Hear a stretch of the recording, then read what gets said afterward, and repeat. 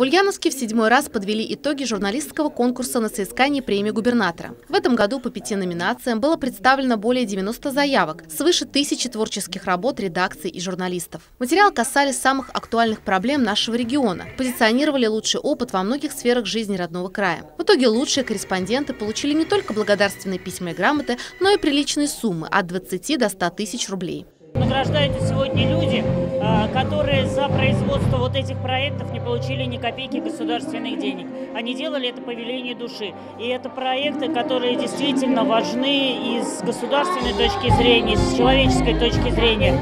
Это проекты, отражающие э, вещи, связанные со здоровым образом жизни, с семейными ценностями, сохранением исторической памяти. Сразу в нескольких номинациях победили наши коллеги из издательского дома «Ульяновская правда». Так, за цикл передач «Заметки натуралиста» награжден шеф-редактор социальных программ Игорь Улитин, а лучшим журналистом стала Анастасия Ганединова за цикл публикаций о волонтерском движении. Премию получили за ряд кровеческих работ, которые мы вместе с оператором Юрием Конихиным делали все лето, начиная с июня.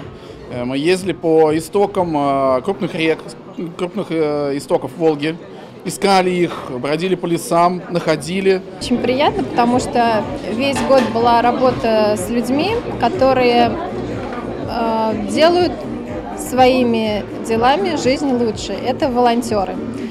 Я весь год встречалась с ними, весь год э, вдохновлялась их примерами, плакала вместе с ними, удивлялась Журналистам создали атмосферу настоящего праздника. Гостей весь вечер развлекал кавер-бенд «Танцули», а за бокалом шампанского, акулом пера и микрофона можно было пообщаться друг с другом не только на личные темы, но и подумать о новых проектах.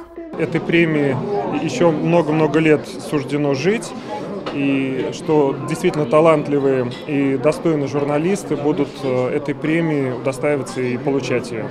Особенно приятно, что коллектив службы интернет-ТВ много и упорной работой в минувшем году был отмечен в номинации «Лучший материал», в котором освещаются вопросы социальной сферы за передачу «Спасая жизни». В 2019 году будет еще больше актуальных сюжетов, интересных интервью и новых программ. Наталья Чумаченко, Юрий Конихин. Новости Ульяновской правды.